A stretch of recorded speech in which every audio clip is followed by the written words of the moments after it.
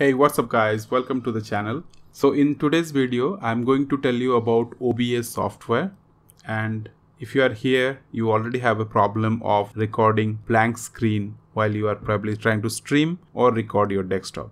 So no worries, in this video, I'm going to show you how to fix that exact problem. Before we start, here is a request. Please subscribe to the channel and also if the video helps you, please give it a like. Okay, so let's get started.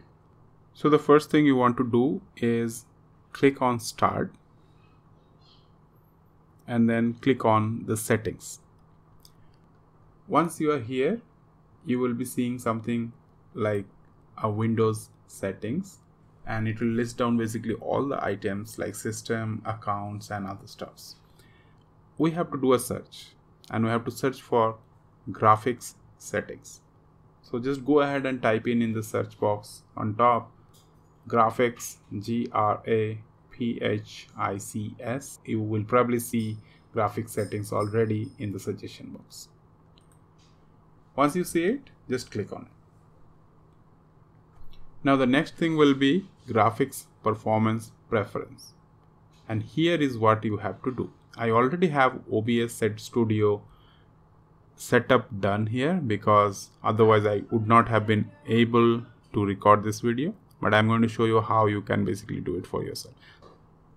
So please ensure when it says choose an app to set preference, classic app is selected. Once that is done, you need to click on the browse button. Here we are trying to find OBS Studio application. So if you have gone with the default installation, the application lies in C program files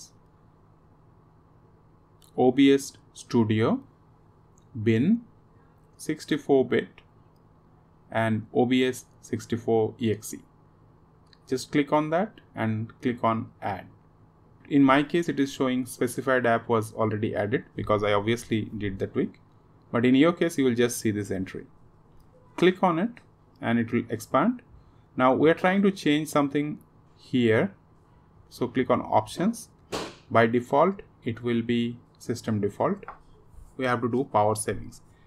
In this case the problem happened because I apparently have two GPUs one is Intel HD graphics and other one is AMD Radeon HD 7700M this is a pretty old laptop. I have never faced this problem but in this case I guess it's good I faced this problem so I was able to finally find a solution and share it with you guys as well.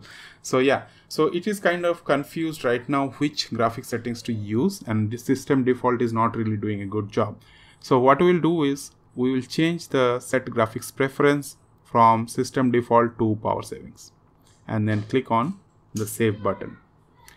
That's pretty much it. So we are just telling the system you go ahead and use the GPU which is Intel HD Graphics 4000 and don't worry too much about AMD Radeon HD 7700M. Now the confusing fact here is I only have one HDMI port so I don't really know which GPU and, and when it is being used basically. So in this case power savings click on save and it is pretty much done. So once that is done just close this particular window and settings wise you are all good to go. If you do not see the changes close the OBS software, relaunch it. If you still don't see the changes, restart your computer like all the IT admins always say that. So in my case, I had to restart my computer and that did the trick.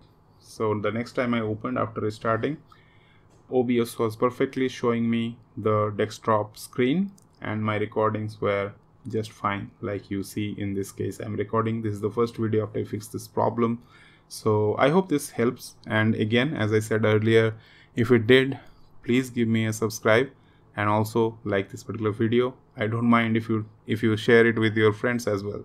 So feel free to do that too. And yeah thank you so much for watching. And you have a great day. I hope to see you again. Bye bye